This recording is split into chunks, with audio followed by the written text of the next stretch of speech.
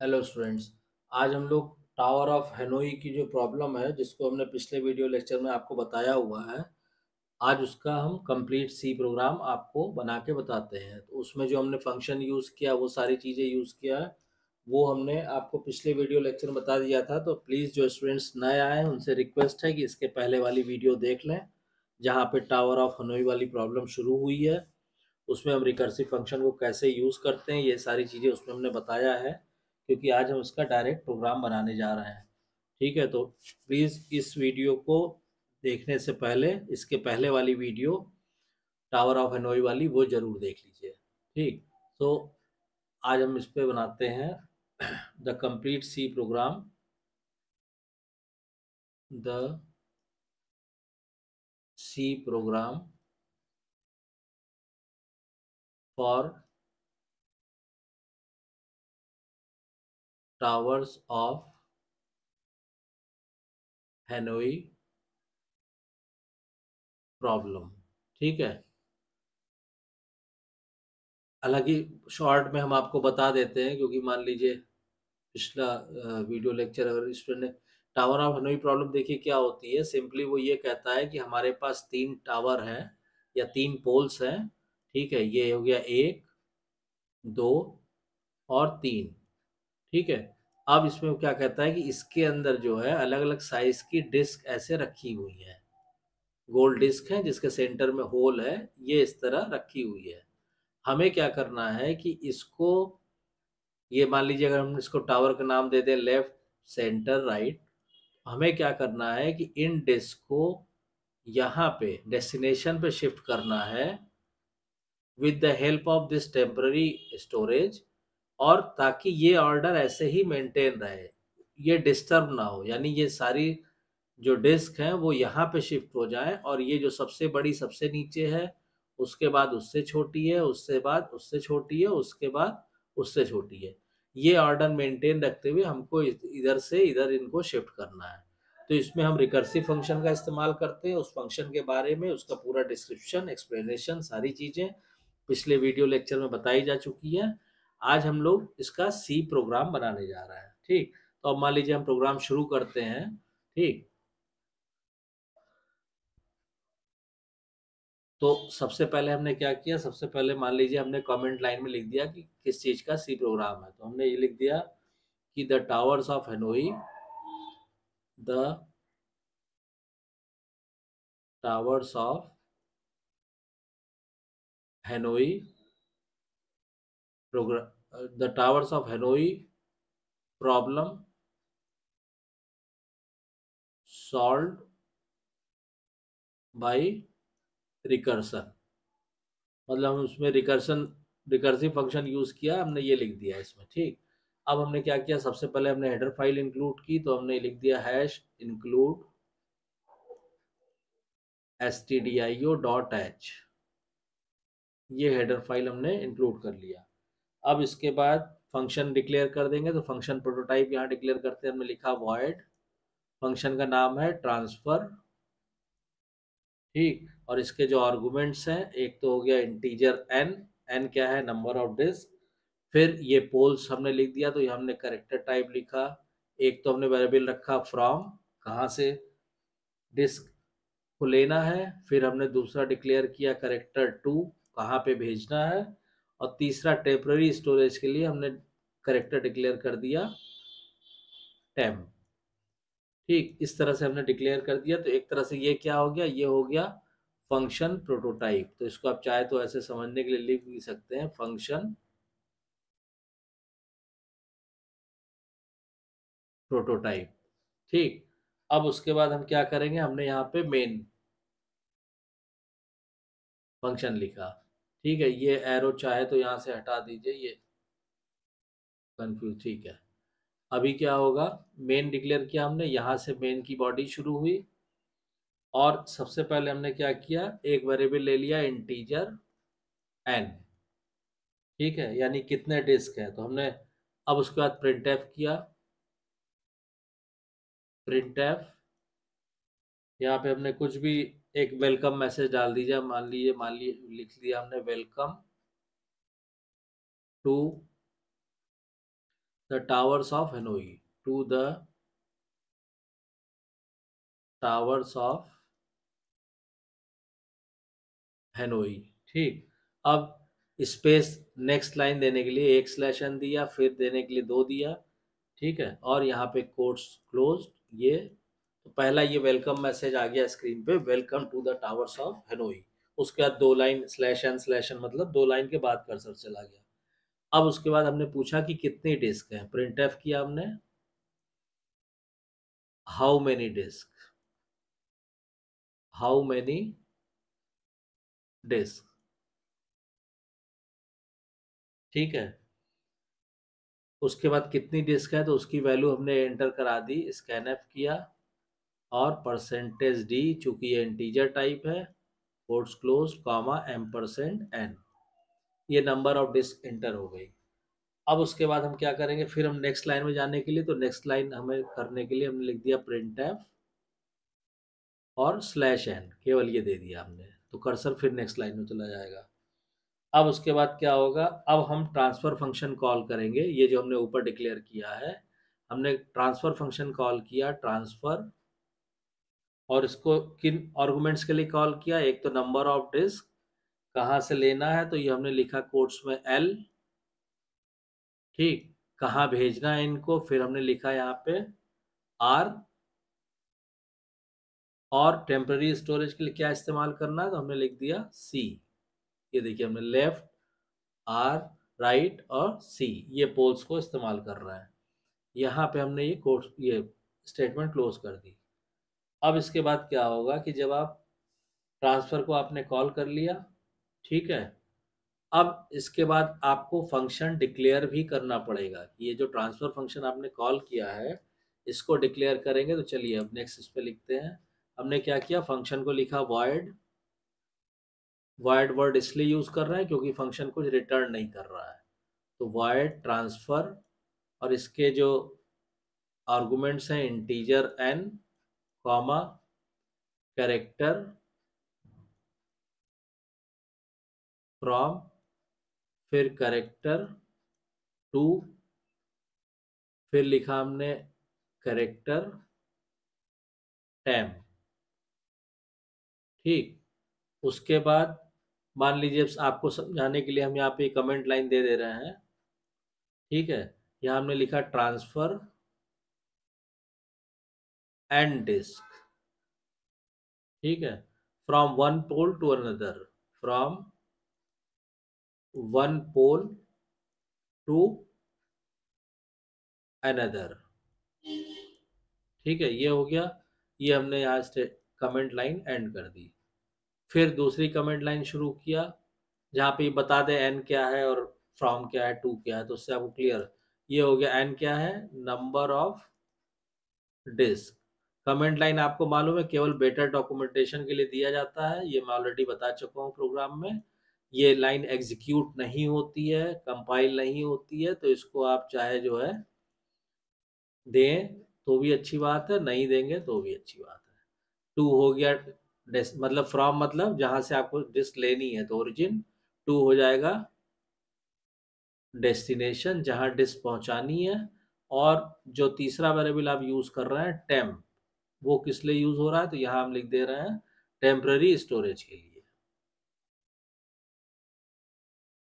Temporary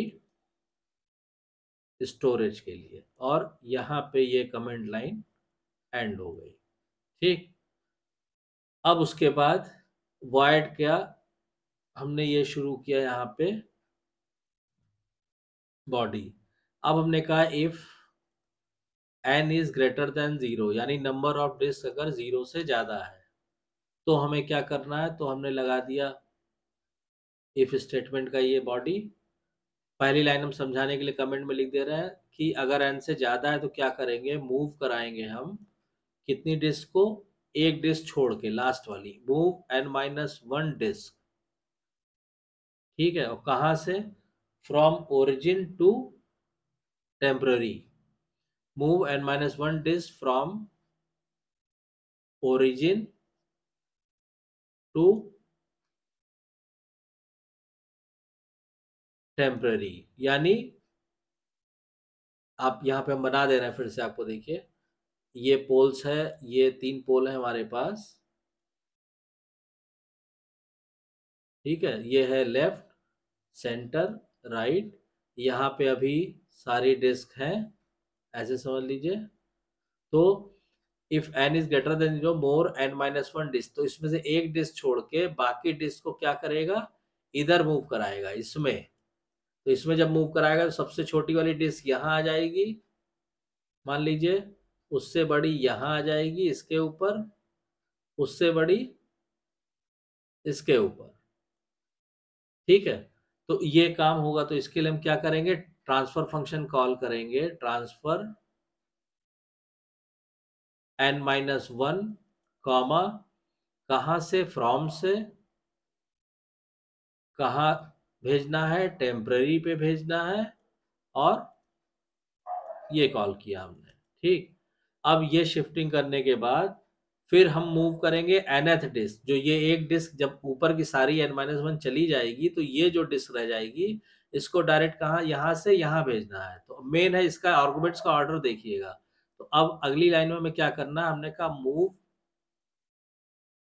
nth disk कहा से? From origin to destination origin to destination मतलब directly right वाले पे चला जाएगा। ठीक अब मेन अब जो लिखने जा रहा हूँ, वो देखिए आप, ये ट्रांसफ़र के आर्गुमेंट्स तो ट्रांसफ़र हमने लिखा। अब एन की जगह हम क्या लिखेंगे? ठीक है। यहाँ पे हम लिखेंगे N move disk nth from this to this ठीक है? तो इसमें हम क्या लिखेंगे? यहाँ पे हम लिखेंगे एन फ्रॉम टू ये हो जाएगा आपका एन फ्रॉम टू तो इसको से सिंपली केवल आपको एक डिस्क मूव करानी तो इसको कॉल करने की ज़रूरत नहीं आप सिंपली यहाँ पे स्टेटमेंट लिख दीजिए कि प्रिंट एफ़ यहाँ पे आपने लिखा प्रिंट एफ़ मूव डिस्क तो कौन सी? तो अभी लिख दीजिए यहाँ परसेंटेज डी फिर लिखिए फ्रॉम कहाँ से? तो उसके लिए फिर परसेंटेज डी परसेंटेज सी और कहाँ पे करना है? फिर परसेंटेज सी और स्लैश एन कोड्स क्लोज अब यहाँ पे मूव डिस्क परसेंटेज डी मतलब कौन सी? एन कहाँ से? तो फ्रॉम फिर यहाँ पे फ्रॉम हो जाएगा ओरिजिन तो ओरिजिन का क्या है वेरिएबल फ्रॉम और कहाँ करनी है? टू पे. ये. ठीक? तो ये लास्ट वाली जो डिस्क बची थी, वो चली गई यहाँ पे। अब जो यहाँ पे है, इनको यहाँ से यहाँ भेजना है। फिर रिकर्सिव फ़ंक्शन कॉल होगा। अब हमने यहाँ पे लिखा move n minus 1 disk from temporary temporary to destination यानी बीच में जो डिस्क हमने टाइम बिंग के लिए शिफ्ट की थी, उनको फिर राइट वाले पे भेजना है हमको। अब इसके लिए फिर जब कई डिस्क भेजनी है तो फिर से आप ट्रांसफ़र फ़ंक्शन कॉल करेंगे। ट्रांसफ़र और आर्गूमेंट क्या क्या देंगे? N minus one disk transfer करनी है, कहाँ से? टेम्प्ररी से। कहाँ करनी है? डेस्टिनेशन पे और ये हो गया फ्रॉम। ठीक है? और यहाँ पे इफ़ स्टेटमेंट बंद हो जाएगा। सॉरी और इफ़ स्टेटमेंट बंद होने के बाद, चूँकि फ़ंक्शन कुछ रिटर्न नहीं करना है तो यहाँ पे एम रिटर्न स्टेटमेंट देंगे। रिटर्न और यहाँ पे फ़ंक्शन की बॉडी बंद हो जाएगी। ठीक है? तो इस तरह से ये फ़ंक्शन काम करेगा। अब इसमें एक चीज़ ध्यान देखनी है आपको कि It should be noted it should be understood that the function transfer receives a different set of values for its arguments each time the function is called These sets of values will be pushed on the stack independently of one another and then popped off the stack at the proper time during the execution of the program.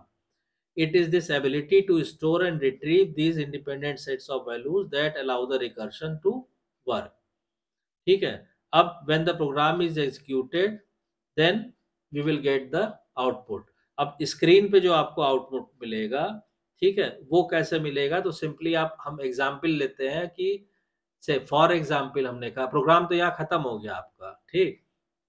For example हमने कहा कि let there are three disk three disk इसका मतलब क्या हुआ? N equal to three तो output the output the output obtained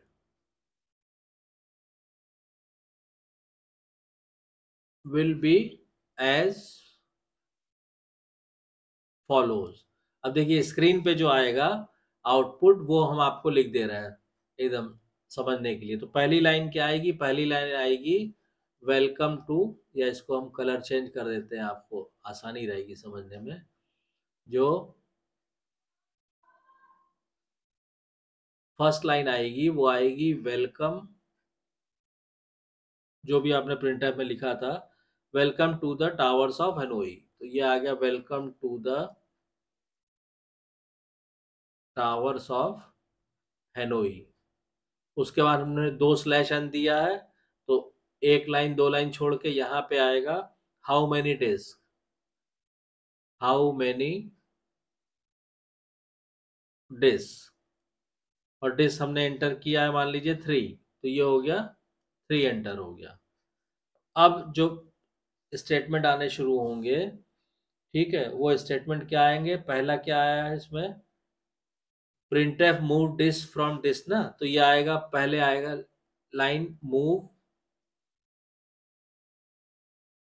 disk one